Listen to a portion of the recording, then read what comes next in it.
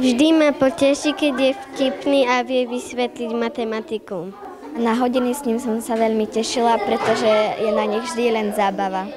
Mne sa páčilo na tej hodine, že sme nerobili stále len s písankami, ale aj s tabletmi. Ocenený učiteľ pôsobí na škole 17 rokov.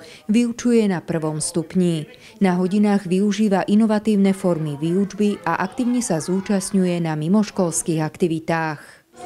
V rámci výchovno-vzdelávacieho procesu sme vytvorili už e, na Slovensku vzdelávací proces e, notebook pre každého žiaka od roku 2018. Čím je špecifická tá trieda je tým, že vlastne každé dieťa má svoj tablet, e, máme online vyučovanie, keď sú deti chore, ale popri tom sa už snažíme zavádzať aj prvky riadeného aktívneho učenia, čiže v rámci toho vzdelávacieho obsahu sa snažíme vytvárať také podmienky, aby tie deti prevzali zodpovednosť za vyučovanie a boli aktérmi pre našu školu je to naozaj tiež veľmi veľká zodpovednosť.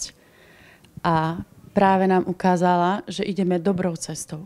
Pretože my ako škola sme sa už od roku 2012 už za bývalej pani riaditeľky nasmerovali k novým metódám a k novým formám, pretože sme si uvedomili, že v prvom rade je dieťa a žiak našej školy a jemu musíme v dnešnej dobe prispôsobiť školu. A práve Peter Palo bol jedným z iniciátorov tejto modernej školy a aj vďaka nemu škola patrí ku škole 3. tisícročia. Prečo je 9 plus 1, Filip?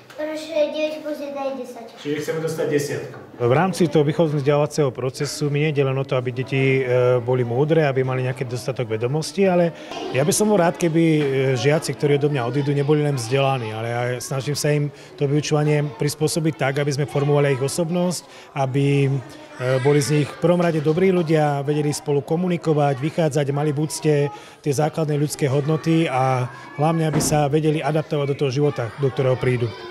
V minulosti pracoval Peter Palo aj ako regionálny spravodajca. Aj tieto skúsenosti využíva vo svojej učiteľskej praxi. Na škole vedie okrem iného aj filmársky krúžok.